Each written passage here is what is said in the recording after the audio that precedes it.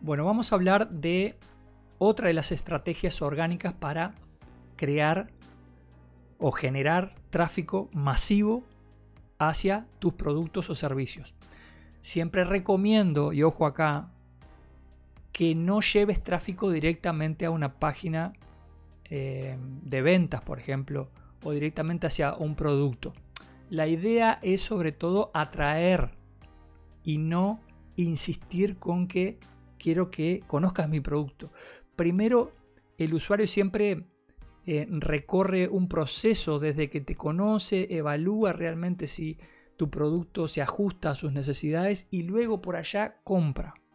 Pero mucha gente el error que comete es que lleva directamente hacia la venta de un producto y eso es un error. ¿sí? Hay que atraer sobre todo y que la gente decida si realmente tu producto es la, eh, es la mejor este, decisión que puede tomar. ¿sí? Así que no insistas a la gente, sino que hay que atraer. ¿sí? Esta estrategia que te enseñé em, en el video pasado y en esta también, eh, es básicamente crear contenido y dejar que la gente decida, es decir, te descubra y decida si quiere seguirte y si quiere comprarte algún producto en alguna oportunidad. ¿sí? Es decir, es inbound marketing se llama, es decir, atraer y no estar insistiendo. Al final de este video te voy a dejar un par de trucos que son extremadamente interesantes que lo tengas en cuenta para posicionarte como experto y tener más visualizaciones hacia tu contenido y hacia, eh, hacia ti como productor digital. Bueno, en esta oportunidad te voy a enseñar a optimizar el perfil que tenés acá en Quora. Y, y es interesante esto porque la gente te puede encontrar desde acá, mira, desde el buscador. Mira lo que sucede cuando alguien busca, por ejemplo, cursos online, que yo ya me he estado posicionando por eso, cursos online. ¿Qué pasa? Aparece, ves que lo primero que aparece es búsqueda, pero el, digamos el primer perfil o el primer tópico que aparece acá, que puede ser una respuesta, puede ser una pregunta, puede ser lo que sea, un perfil en este caso, aparezco yo acá con máster en cursos online ves que la gente incluso podría darle un enter acá o, de repente buscar, pero incluso puede sin querer hacer clic en tu contenido e ir a tu perfil. En este caso yo salgo en primera posición acá cuando alguien busca cursos online. Pero ahora te voy a explicar qué tenés que hacer para estar realmente ahí. Entonces vamos a hacer clic ahí. Ya te digo que ahora lo último te voy a dar un par de estrategias más pero esto es muy potente lo que te voy a enseñar ahora. Bueno, acá primero que nada ves que dice editar acá, tendrías que editar tu perfil y poner la palabra clave. En el caso anterior, en el video anterior te había mostrado em, cómo hacer para posicionarse o cómo hacer para responder preguntas relacionadas a la nutrición. Entonces acá vamos a hacer lo mismo. Yo podría venir acá a editar y acá en alguna parte colocar nutrición. Por ejemplo, nutrición 360 o nutrición, como se llame tu producto o tu servicio o como quieras posicionarte, ¿no? Pero la palabra nutrición tiene que estar acá, acá, en el, en el título del perfil, digamos, ¿no? Acá también ves que yo me pongo acá creador de contenidos porque también quiero que me, quiero posicionarme de esa forma, ¿no? Son las credenciales eh, son las credenciales por las cuales quiero aparecer. Puede ser creador de contenido y si no, yo tengo otra credencial que es productor digital en Hotmart. ¿sí? Porque soy eh, productor digital en Hotmart. Entonces, ya sea que responda una pregunta relacionada con Hotmart o eh, con algún contenido, yo creo que soy experto en ambas cosas. Es decir, me dedico a esto de crear contenidos y a la vez crear productos digitales en Hotmart. Es decir, que me puedo posicionar de, ambas formas. Entonces, sí o sí tenés que editar estas dos, estos dos apartados que aparecen acá.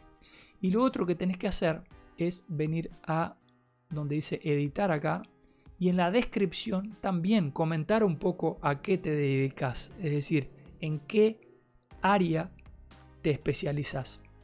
Y acá en la parte de nutrición, podrías colocar la palabra nutrición en alguna parte del texto. Sin abusar, pero por ejemplo en este texto largo acá, podrías colocar perfectamente tres veces la palabra nutrición sin problemas. Incluso podrías aumentar la amplitud semántica. ¿Qué es esto de aumentar la amplitud semántica? Colocar palabras clave relacionadas, sinónimas. Por ejemplo, podría ser alimentación, dieta. Es decir, todo lo que dé a entender al usuario de que te dedicas a la parte de nutrición y sos especialista en eso. Bueno, y ahora te voy a decir los trucos con respecto a esto. Yo voy a cancelar acá porque no quiero em, posicionarme por nutrición. ¿Ves que acá hay una respuesta fijada? Esta es una de las respuestas que más resultados me ha dado en, eh, acá en esta plataforma. ¿Y cómo lo sé? Porque si yo vengo acá y busco tu contenido y estadísticas,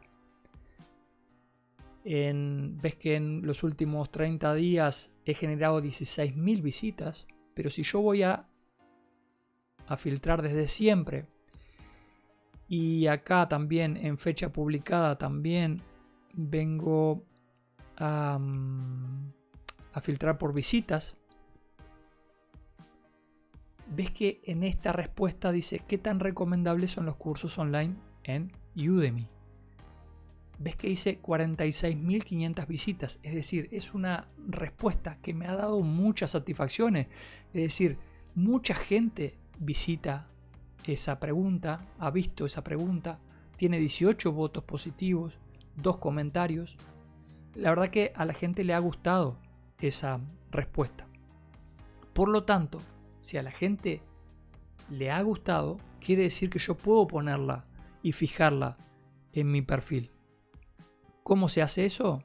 Le doy clic sobre la pregunta para ir hacia esa pregunta y lo que hago es venir a los tres puntitos y fijarla. Obviamente como ya la tengo fijada, dice de fijar del perfil, pero acá te va a salir fijar al perfil.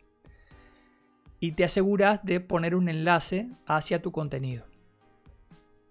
Si no lo dije, porque esta es la segunda vez que hago el video, eh, es importantísimo no llevar tráfico directo hacia tu producto o servicio, sino que llevar hacia eh, un blog, por ejemplo, en donde profundices, eh, llevar hacia este, una lista de reproducción, como en este caso, en donde le das más contenido y que la persona resuelva realmente si quiere en algún momento comprarte eh, algún producto o servicio. ¿sí? Bueno, esa, eso como, como primer truco. Y el otro truco que podés hacer acá es, si ya sabes que esta pregunta te dio buenos resultados, lo que puedes hacer es hacer clic sobre la pregunta y vas a ver que aparecen preguntas relacionadas acá. Entonces podrías perfectamente venir y eh, intentar responder de forma similar, no copies, ¿no? pero de forma similar a la pregunta que ya hiciste. ¿no?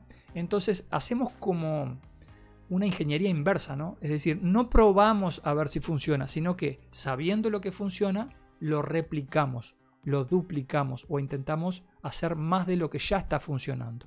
Entonces yo podría venir clic derecho, abrir enlace en una nueva pestaña y ver a ver si ya he respondido esa pregunta. Si no la he respondido, que ves acá que sí la respondí, la respondemos. Si no, buscamos otra que te aparezca por acá o incluso abajo aparecen otras también, que son creo que más o menos las mismas que, hay. Bueno, espero te haya gustado estos trucos. Compartí el video, dale me gusta y seguí con los videos de la lista de reproducción que te voy a dar más trucos de esta plataforma y de otras plataformas para generar tráfico orgánico. Nos vemos la próxima.